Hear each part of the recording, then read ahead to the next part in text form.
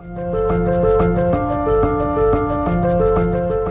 photocell, also referred to as a photoresistor or light-dependent resistor, LDR, is a device that detects light and alters its electrical properties in response. It either converts light into electrical energy, similar to photovoltaic cells that generate voltage, or adjusts the flow of current, as seen in photoconductive cells.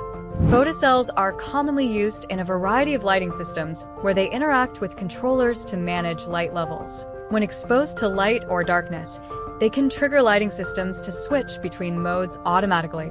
The resistance of a photocell varies depending on the amount of light hitting its surface.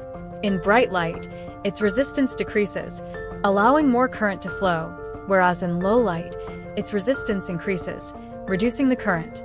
One of the most widespread uses of photocells is for exterior lighting, where they automatically turn lights on at sunset and off at dawn. This function is highly valued in outdoor applications like streetlights, parking lot lighting, and landscape lighting, as it ensures efficient energy use and enhances security during nighttime.